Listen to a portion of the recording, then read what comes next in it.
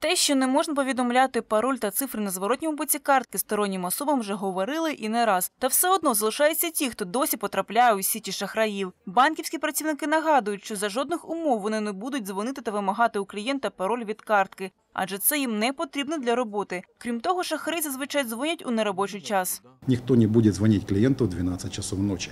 Ну, это просто бред.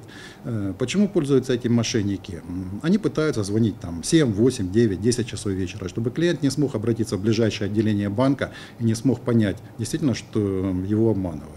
На шахрая легко натрапити, якщо ви робите онлайн-покупки та платите за них банківською карткою. За якісним та підозріло дешевим товаром точно ховається аферист, який просто забере ваші гроші та бажаної покупки ви так і не отримаєте. Кошти можна повернути лише у тому випадку, якщо шахрай не встиг їх зняти. Але знайти його буде складно, тому що для фінансових махінацій аферисти використовують чужі картки.